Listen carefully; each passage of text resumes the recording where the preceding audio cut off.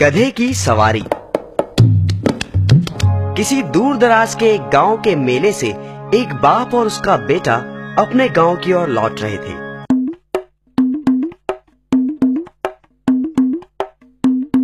मेले में उन्होंने एक गधा खरीदा था। रास्ते में उन्होंने सुना कि कोई बोल रहा था, अबे, देखो इन मूर्खों को। गधा इनके पास है, फिर भी दोनों पैदल चल रहे हैं। दोनों ने सोचा बात तो ठीक है और वो दोनों गधे की पीठ पर चढ़ गए। रास्ते में उन्होंने फिर सुना कि कोई व्यक्ति फिर कुछ कह रहा था। अरे देखो देखो उस गरीब गधे को। दोनों हट्टे कट्टे मुस्टंडे किस तरह उसका कचुमर निकाल रहे हैं? बेचारा मुश्किल से ही चल पा रहा है। बाप को दया आ गई। वह गधे की पीठ पर से नीचे उतर गया। जब वह खेतों के पास से गुजर रहे थे तो एक औरत की आवाज़ उनके कानों में पड़ी। लड़का भी कितना बेशरम है। बेचारा बूढ़ा तो पैदल चल रहा है और लड़का गधे की सवारी का मज़ा लूट रहा है। अच्छा होता यदि वह पैदल चलता और अपने बाप को गधे पर चढ़ने देता। लड़का नीचे उतर आया और बाप गधे की पीठ पर सवार हो गया।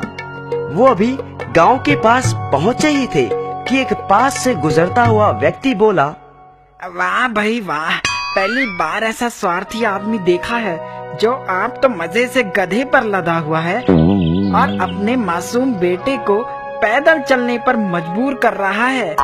बस, फिर क्या था? उन दोनों ने गधे को बाँस के साथ उल्टा बांधकर अपने कंधों पर उठा लिया और अपने घर की ओर चल दिए। जैसे ही वह घर के पास पहुँचे सब लोगों की हँसी फूट पड़ी। एक बुज़ुर्ग गांववासी आगे बढ़ा और पूछने लगा गधे को इस तरह उल्टा लटकाकर क्यों ला रहे हो? क्या यह लंगड़ा लूला है कि यह चल नहीं सकता?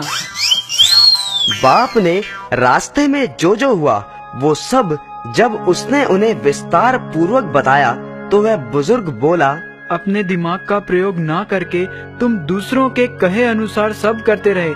इसीलिए आज तुम पर सब हंस रहे हैं। आप ठीक कहते हैं श्रीमान। सबको खुश नहीं किया जा सकता।